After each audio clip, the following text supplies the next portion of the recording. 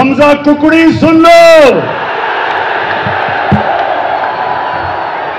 तुमने सारी ज़िंदगी तुम्हारे और शरीफ खानदान ने आज तक एक चीज़ ईमान, ईमानदारी से नहीं की।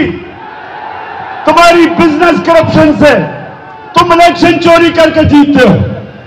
तुमने सारी ज़िंदगी दो नंबरी करके पैसा बनाया।